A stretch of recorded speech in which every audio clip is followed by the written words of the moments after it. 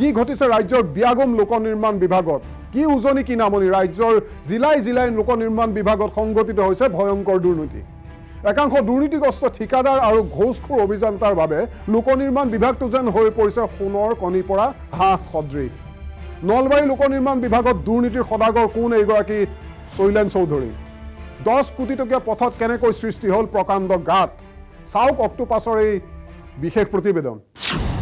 নলবাৰীৰ লোক নিৰ্মাণ বিভাগত ভয়ংকৰ দুৰ্নীতি কুম্ভকৰ্ণ নিদ্ৰাত কাৰ্যবাহী অভিযন্তা।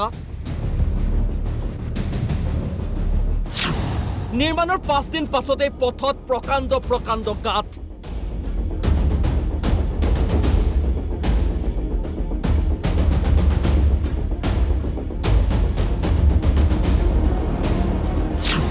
দহ কোটি টকা লুণ্ঠনৰ মহাজাল।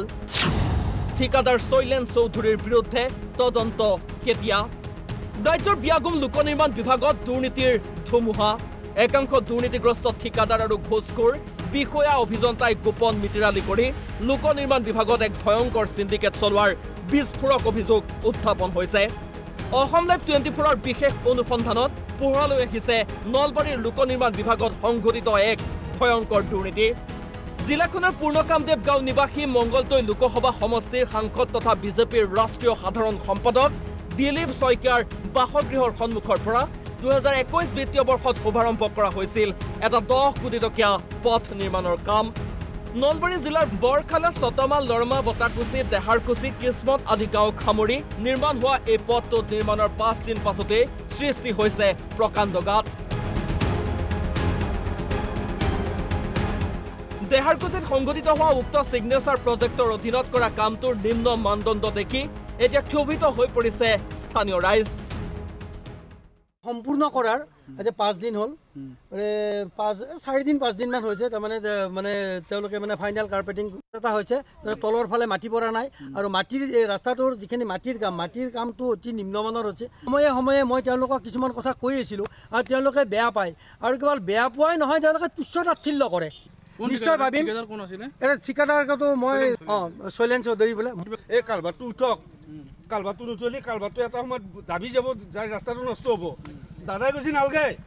দাদাৰ লগত ৰঙ অভিভং যিকেইটা মহৰি আছে সিহঁতেও কৈছে নালগে হে। আকৌ দৰকাৰ নাই। গতিকে আজি কি পৰ্যায় পালাক ঠিকে এতিয়া ঠিকেদাৰে আহিব লগা কিয় হ'ল? পাঁচদিন হ'ল? পিচিং কৰিব।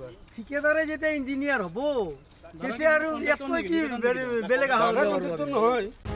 নলবাৰীৰ কাৰ্যবাহী অভিযন্তা জনৈক হালৈ আৰু ঠিকাদাৰ শৈলেন চৌধুৰীৰ বিৰুদ্ধে স্থানীয় ৰাইজে উজাৰিছে প্ৰচণ্ড ক্ষোভ। এনেদৰে চলে নেকি ৰাজ্যৰ বিয়াগুম লোক নিৰ্মাণ বিভাগটো। ঠিকাদাৰ শৈলেন চৌধুৰীয়ে নিম্নমানৰ কাম কৰাৰ পাছত তেওঁৰ বিৰুদ্ধে বিভাগীয় তদন্ত হ'বনে? আমাৰ পৰৱৰ্তী প্ৰতিবেদনত সম্প্ৰচাৰ হ'ব নলবাৰীৰ অভিযন্তা আৰু ঠিকাদাৰৰ দুৰ্নীতিৰ অন্য এক ক'লা অধ্যায়। Bureau' report Assam live twenty four.